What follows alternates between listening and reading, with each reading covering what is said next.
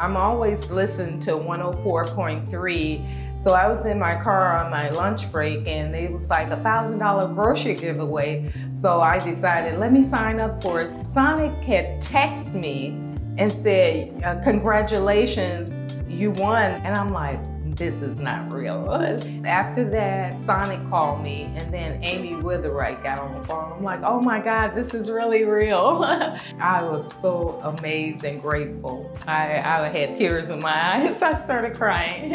I'm planning on buying half on groceries because they're eating a lot. My grandkids at home now. And uh, half on um, paying off my credit cards to buy me a house, my first home. Thank you, 104.3 Jams and 1 800 Truck Wreck. Thank you so much.